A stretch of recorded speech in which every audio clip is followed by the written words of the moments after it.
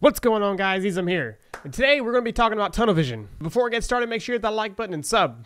If you see a person and you're constantly hitting, missing, hitting, missing, and you might finally eventually eliminate them, have you ever looked around that person that you're shooting at? Because there could be multiple players around that person, but you're so tunnel vision that you might not see them because you want to get that kill so badly. And when you're so focused on shooting that one person, you'll never know.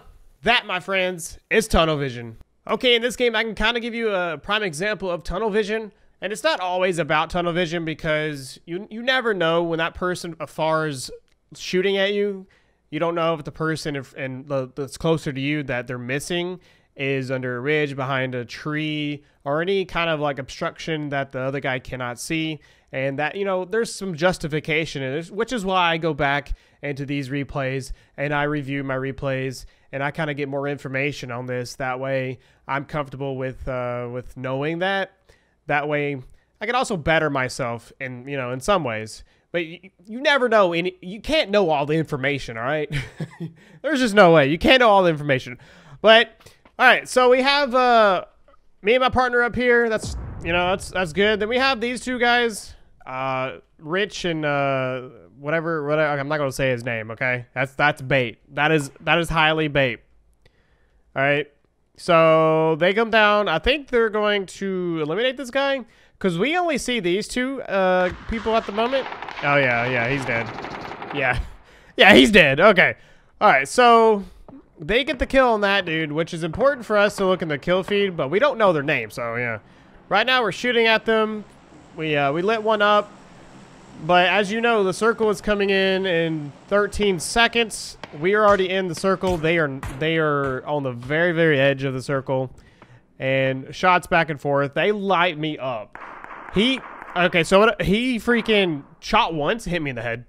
That I was like, yeah, yeah, people don't miss in this game, bro. If they when they do, it's probably because uh, they have a bad they're having a bad day in terms of uh, uh, I, I don't know what, but these guys are on Adderall. I swear. Anyway, now they have to move to us, right? We have a good position. We're close to the circle, but we keep shooting. We're, we're constantly shooting at them. They have to make a decision. But at any moment in time, the more we shoot, the more that we can get caught up by other people, like, you know, well, these guys are in the compound, so you know they're not going to move. But what happens if, uh, you know, they had to move out and uh, this, this right here was the end circle, right? So the more we're firing up here, tunneling, this is a prime example of tunnel vision, but in our case, we're trying to eliminate them before they can get across. And, well, unluckily, they, they, they uh, you know, get all the way across because we suck. But at the same time, you know, it's it's in our best interest to try and eliminate a team. That way we have one less team to worry about. And there's always no kind of justifying a tunnel vision. But in our case, you know, that's my justification for it. And, you know, these, these guys at any time, can, well, they can't really see us at the moment. So we have a tree right here, a ridge right here. So I don't think anybody can see us. Trees and stuff in the way. And we were originally going to go and fight these guys in the compound, but I was like, leave it because we can give away our position and it's just hard to push something like that. And as you see, they're, they're constantly getting through. This guy got lit up really badly. He almost died. And um, they keep pushing. And eventually uh, they'll get they'll get about up here. And they're behind the circle. We're we're shooting at them, still tunneled. This is a prime example of tunnel vision. Like, we will not leave them alone. But as I said, in our case, we're trying to eliminate them before they can eliminate us or, you know, get further down into the zone. And, well, they lit my partner up. We have to leave. So, I eventually, um, the reason why I threw this smoke was because I figured they were going to push us, eh, but they eventually went wide right. Uh, which was, uh, yeah, to my right as well. And I, I, I pretty much called that. I said, well, if they're not coming up here to push us, they they went this way, and sure enough, they did. Uh, we're we're all behind the circle taking damage because of uh, well of our tunnel vision on these guys. We didn't get the elimination, and it, you know it's a sad day. I use DMRs today. This is a game from today. I use DMRs, and I don't know whether or not I've just been playing this game too much and I'm just kind of exhausted and I just need to recoup until Monday, or it's just the fact that uh, my, uh, you know, I just did not have the juice today to, uh, you know, succeed in shots. But if I had a sniper rifle, trust me, I would have owned these guys. All right, I would have.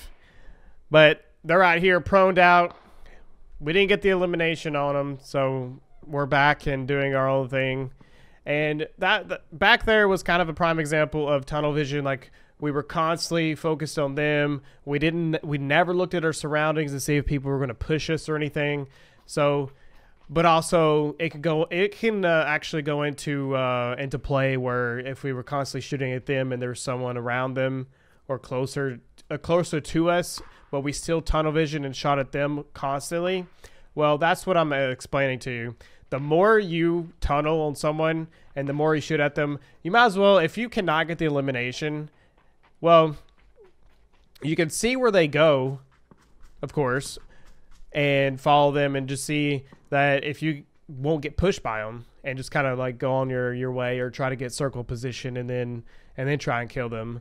Right now, it seems like one of them got knocked and uh, they're fighting this compound the compound people uh, right now, we are trying to get position, and like I said earlier, if we had stopped shooting at them, we would already we've already been through this position, and we would have would have already gotten position. We would have already tried to fight these guys, win or lose, I don't know, and we wouldn't have been in the position we got into right now. So we're right out in the open. We don't know these guys are out there because they're in the bushes. My teammates get shot by them. And then I smoke him out. This is a good play on my part. But somehow they still get the shots off. And I'm still shooting, shooting. Constantly, constantly shooting, missing. I missed a lot this game, but um, I, you know, I eventually give up. I do not know these guys are in here, right? And uh, I eventually give up my shooting because I don't want to get owned by them. Not knowing these guys are in here, I get eliminated by the people who are just sitting there waiting and, and you know, scared to do anything. Like, these guys right here, are a prime example of, of yeah, bunker down, of course. You know, you got some strategy. You're in the circle, you bunker down in a compound. But this isn't comp, right? In comp, you would most likely go into a, a, a, field of foliage or next to something or you know you would bunker down in a, in a compound but also you would try to like peek out if they peeked out right here and shot us we would have we would have been dead there, there would have been no way. Now, if the other guy had opened this door right here uh, prior and then peeked this way, kind of like looked around the compound, they would have found these dudes and killed them. Like these guys had a really good position, but they did not thoroughly use it. And but this isn't the point of uh, what I'm trying to make in tunnel vision, right? So we go back here to the position where we were fighting these guys. Yeah, this this is kind of a good play to just shoot. They're they're they have no cover.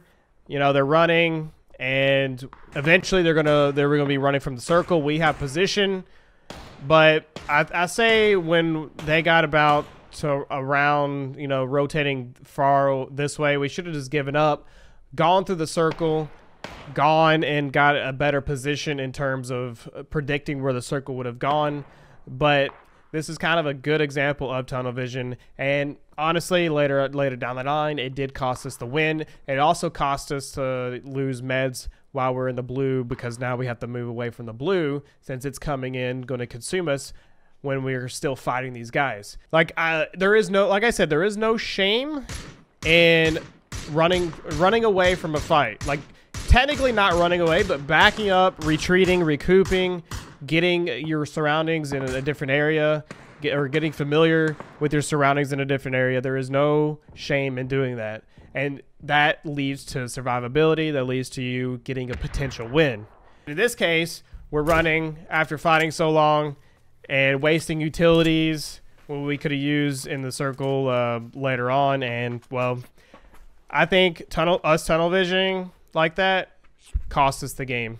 And it's honestly a shame. I am embarrassed by this gameplay.